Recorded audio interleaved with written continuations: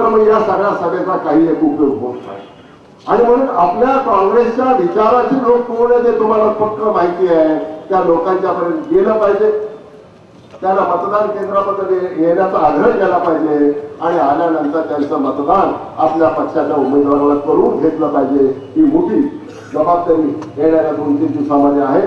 तेव्हा ही जबाबदारी आपण सारेजण चांगल्या पद्धतीनं पार पाडाल अशा प्रकारची मी या निमित्तानं आपल्याला विनंती करतो. अशा प्रकारची मी अपेक्षा व्यक्त करतो. मी अधिक बोलणार नाही पण तुमचा जोश तुमचा उत्साह पाहिल्याच्या नंतर मला निश्चितपणाची खात्री वाटते की अमित भैया हे जास्तीत जास्त मताने या उद्याच्या निवडणुकीमध्ये निवडून येतील आणि महाराष्ट्राच्या राजकारणामध्ये एक चांगली भूमिका पटवण्याचं काम त्यांच्या माध्यमातून होईल अशा प्रकारची मी अपेक्षा व्यक्त करतो. आपले आभार मानतो. माझं भाषण संपवतो. कृपा करून समोर बसलेल्या पुरुष बंधूंना विनंती आहे की आपण इतरत्र बसून त्या ठिकाणची जागा महिलांसाठी मोकळी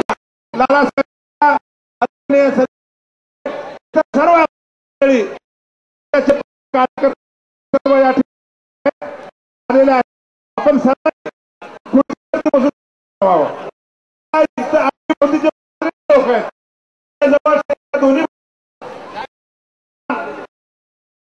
आपण बसून घ्या आपण दिलीपराव